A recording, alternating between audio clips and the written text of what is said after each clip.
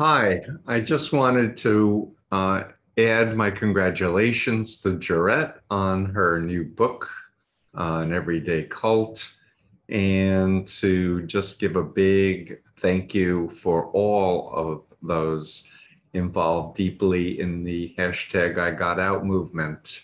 Um, thanks to Gerette and Lisa and Mark and Sarah Edmondson and so many others that are joining in. I just think it's so important in this current environment where there are millions of Americans who have been uh, indoctrinated into a black and white, all or nothing, good versus evil cultic mindset, um, that they come to understand more about what authoritarian cult mind control is about and to hear story after story of people who are intelligent and educated sharing their own unique story about how deeply they believed and how they came to realize that it wasn't what they wanted to believe it was, and to realize that there was no future in continuing involvement with the uh, ideology or cult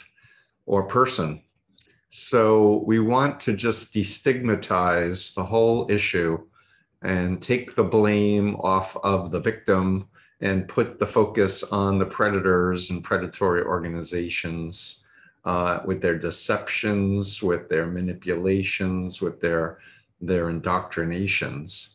And I'm in particular asking for people who are influencers, which means if you're a celebrity, a media spokesperson, author, to especially uh, add that hashtag I got out uh, whenever appropriate.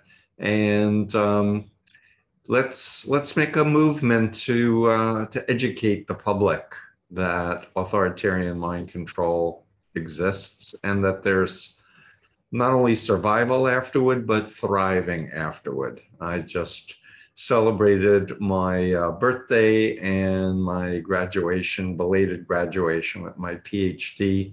Uh, friend brought me a book that was cleverly folded to put out, spell out the letters PhD. So I thought I would add it to this. So congratulations, Gerette, and congratulations to all of you who have been able to get out of this horrible authoritarianism and uh, enjoy our freedom. Thank you.